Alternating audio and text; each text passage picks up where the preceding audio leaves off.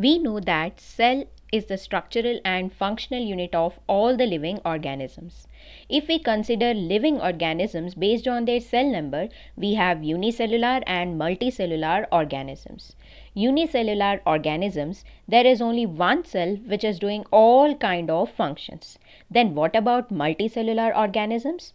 There are millions and billions of cells which have to function in an organized manner if they have to function in an organized manner, they have to communicate with each other or they have to get interconnected with each other. So, this interconnection and communication is done by cell junctions. So, today we are going to learn about cell junctions. There are different types of cell junctions. Let us see one by one what are they. So, there are three different types. We have occluding, anchoring and communicating junction. Let us start with the occluding junction. This occluding junction includes tight junction or the other name is zona occludens. Why it is called zona occludens? Let us see the structure and know it in a better way. Imagine there are two cells arranged adjacent to each other. There are two proteins associated in their membrane. One is known as occludin and the other one is claudin. As it includes occluding, the terminology is similar here. Okay. So, these two proteins are associated with tight junction. Now, where exactly you will see tight junction? Imagine the epithelial layer of stomach which releases HCl. If this HCl will leak into the spaces, it will destroy the lining. So, to prevent that, we have tight junction. So, if I ask what is the basic function of tight junction, they help in prevention of leakage of materials from the epithelial layer, right? So, this is prevent from leakage of materials. Coming to the second one that is anchoring junction. The term anchoring includes attachment. There are two different types that is cell-cell attachment and we have cell extracellular matrix attachment. Cell-cell attachment includes two different types adherens junction and we have desmosomes. And cell matrix will include focal adhesion and we have hemidesmosomes.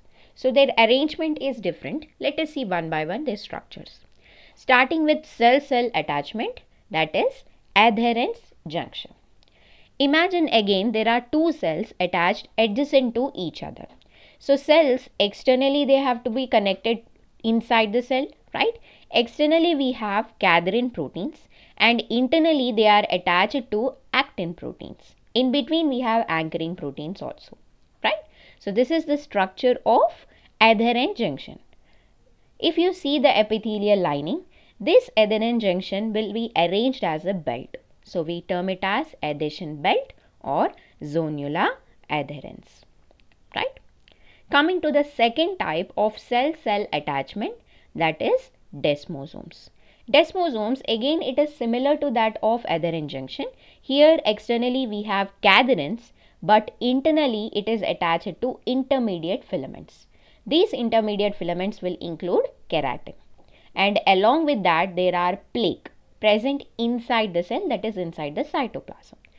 This plaque also contains certain proteins like desmoplakin and plakoglobin. Okay, so this is the arrangement of desmosomes. Next we have cell matrix junctions. Imagine there is a cell which is attached to extracellular matrix. Here the external proteins are different that is integrins. Internally these integrins are connected to actin filaments for stabilization. So this is the structure of focal adhesion. Coming to the second one we have hemidesmosomes. Hemidesmosomes structurally they are similar to desmosomes but there is only one difference that is external protein.